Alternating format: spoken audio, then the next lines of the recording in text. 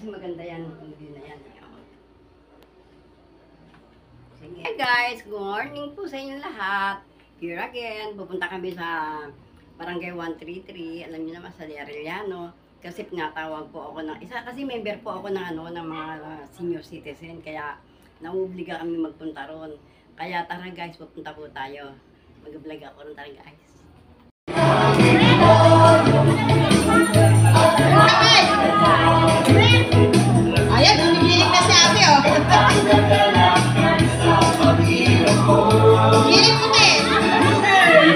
Ibugi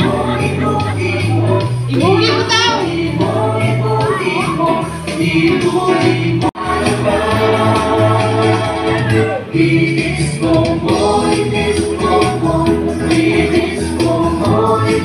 So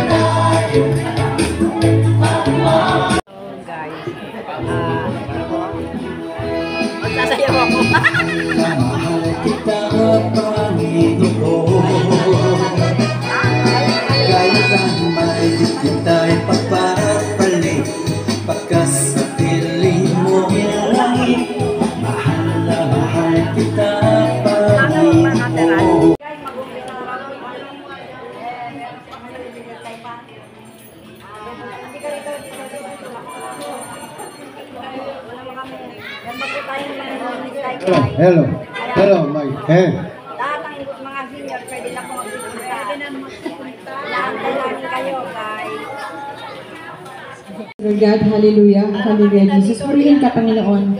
Sambahin ang ngalan mo. Tunay nga po, Panginoon, na kinikilala ka namin. Ikaw ang aming Diyos na nasa langit at makapangyarihan sa lahat. At pinaamin namin, Panginoon, sa aming mga sarili na wala po kami magagawa kung kami ay hiwalay sa iyo. Kaya naman sa umagang ito, Panginoon, patuloy po namin itinata sa iyo ang buhay ng bawat isa. Maging kami pagbigay ng karunungan sa bawat isa sa amin, At unawa kung ano man, Lord God, ang aming pag-uusapan sa umagang ito ay patuloy ka pong magbigay ng kaunawaan sa amin. Ano man, Panginoon, ang mga agenda, ito ay maging malinaw at maliwanag sa samahan namin, Lord God, na ito ay makapagpapatibay lalo sa samahan, lalo na po sa mga members ng sama ka, Panginoon. Pagpalain mo pong gawain ito, maging po ang Barangay 133. Maraming salamat. Ito pong aming dalang sa pangalan ni Jesus. Amen. Citizen. At saka, ang ano ko, sa ulat, wala pa kasi ang kapitan natin. Ngayon, magawad naman po. Santiago.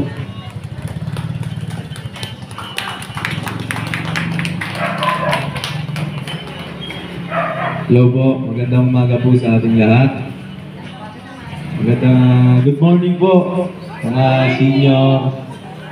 Ah, nais ko lang po magpasalamat sa ating ah, President ng Samaka, kay Efren Valles sa pag-imbita sa amin dito sa general ah, meeting dito sa Arellano.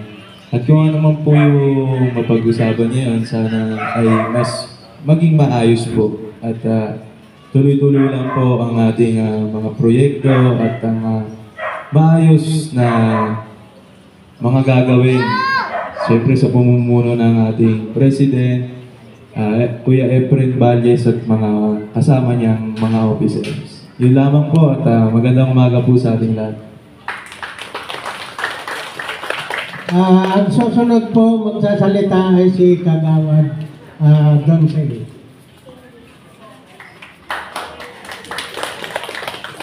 Ah, hello, magandang magandang umaga po sa ating lahat. Ah, una po, ah, ang aming pasasalamat dahil sa invitasyon ng ating presidente, ah, paring Efren Valles. Ah, nagpapasalamat din po kami sa inyong lahat ah, sa suporta, sa samahan ng senior citizen. At salamat din sa ating punong barangay Diyos Santiago dahil sa paggabay, pagsuporta sa lahat ng mga senior citizen, citizen din sa ating barangay. So hindi po lang namin sa sanggunian na manatiling matibay ang samahan at tulungan ng barangay ah, senior ci- citizen din sa ating barangay. So maraming maraming salamat po at magandang umaga sa ating lahat. Ah, ang susunod si Kagawad uh, Bundok. Maraming salamat po, Presidente Efren Valles. At sa mga kasama naming senior citizen, magandang umaga po sa inyo lahat. Ganon din po sa ating butihing kapitan na si Jun Santiago, na patuloy pong sumusuporta sa Sama Ka.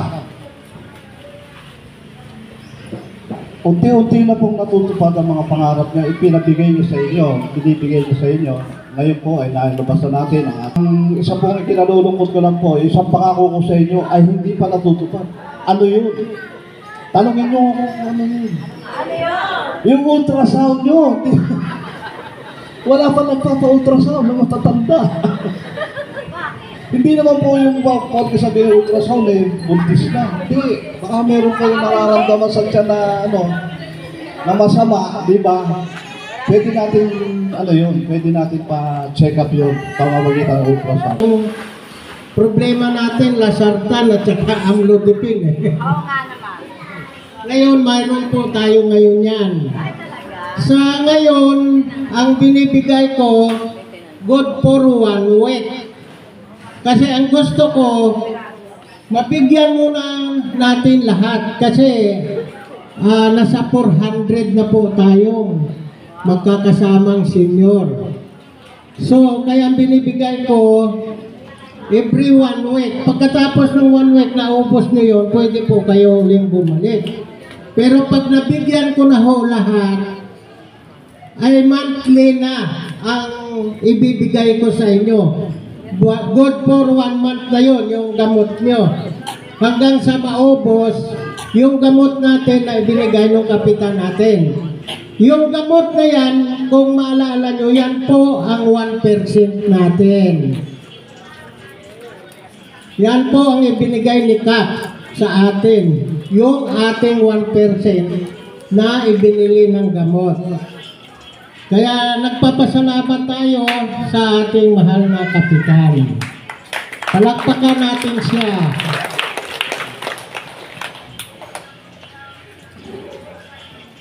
Ang susunod po na anin ko sasabihin, magpapasalamat ho ako sa kay Mrs. Uh, Tess Ligaspe, nag-donate ng nebulizer at saka tungkod. Palakpakan natin yung kasama nating senior na nagbigay sa atin ng nebulizer at saka yung tungkod.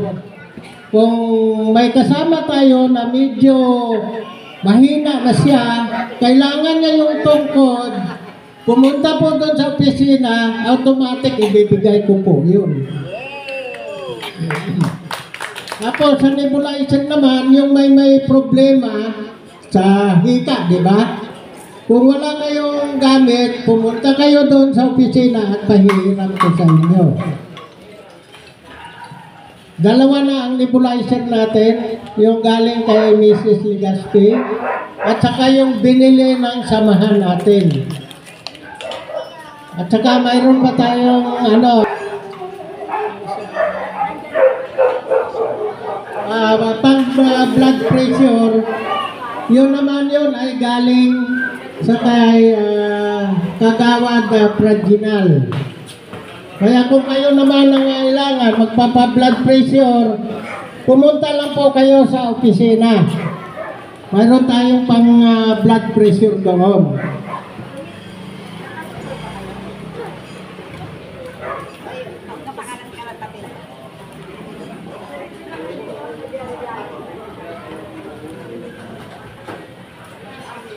ano sa inyo, yung mga nagme-member na wala pang ID, magpa-ID po kayo. Kasi kailang kailangan natin yon. Katulad po sa pagkuha nyo ng gamot, kailangan may ID po kayo. Yung ID na green. Pero halos kalamihan kasi mayroon ng mga ID. Yung inaano ko na lang, yung mga wala pang ID. Magpa-ID po kayo.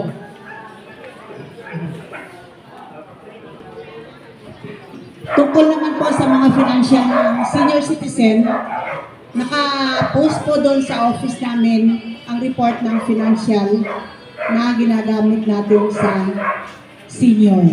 Yun lang po. Kung gusto niyo pong makita, nandoon po, naka-chart po sa ating senior citizens office. Salamat po. Then yung mga gamot daw po, kung wala pong green ID, magpamera worth 50 pesos para makahingi po kayo ng mga gamot na available po na binigay ng ating mahal na punong barangay. Senior lang po, wag po ikukuha yung mga kapitbahay na hindi senior. Yun lang po. Sa ngayon po, kahit yung mga walang ID na senior citizen, kasi may karapatan kayo rito.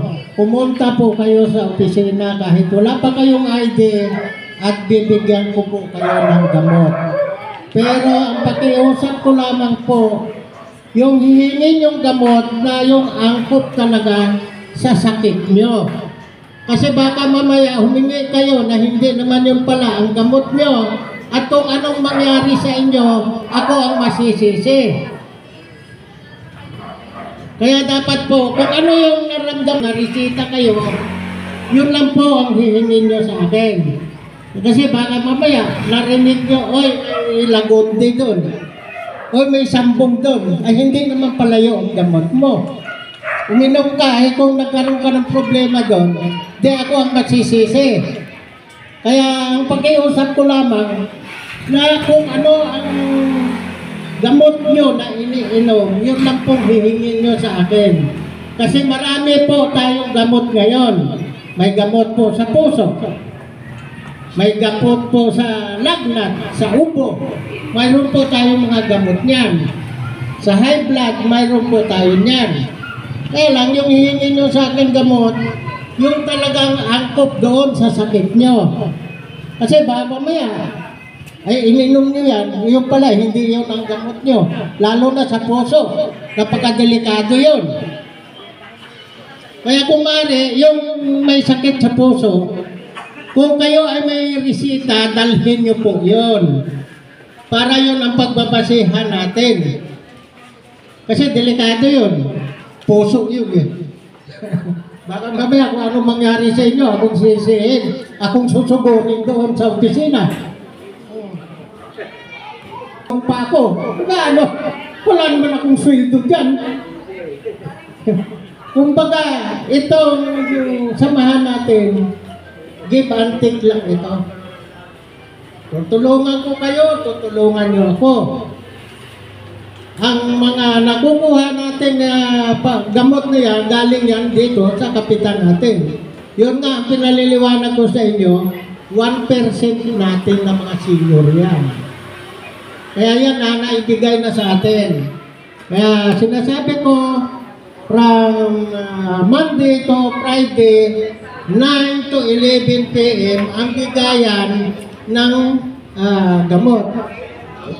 AM na, hindi PM. AM. Saan ka mali? Laging umaga lang. Oh, mayroon pa?